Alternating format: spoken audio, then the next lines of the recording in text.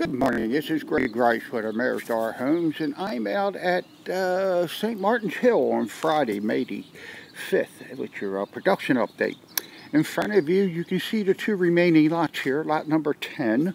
Lot number 10, we got the foundation backfilled this week. Um, we're due to start prepping the slab here, uh, I believe, either over the weekend or Monday, with plans on pouring the slab on Tuesday and starting to uh, framing next week. So now that we have all the selections in place, we'll get moving quickly on this one and get it under roof here shortly. Um, next door to that, you'll see lot number 10 um, I'm sorry, lot number 11. Lot number 11, we've had drywall people working in the house this week. Um, they've got uh, the coats done as necessary to get in preparation for paintwork going on.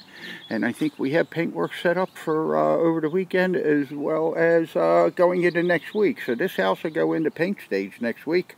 Uh, it looks as though our, our mason dropped the uh, stone material off, so we'll get some stone in place also.